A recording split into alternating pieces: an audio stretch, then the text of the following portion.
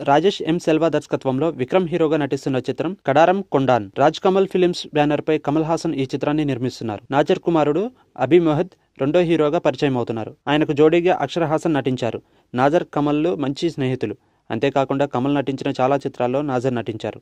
ఈ సినిమాలో నాజర్ కుమార్తె కమీలా ప్రముఖ పాత్రలో నటించారు. ఇటీవలే టీజర్ను విడుదల చేశారు. చిత్రీకరణ పూర్తయింది. నిర్మాణాంతర పనులు కూడా చివరి దశకు వచ్చాయి.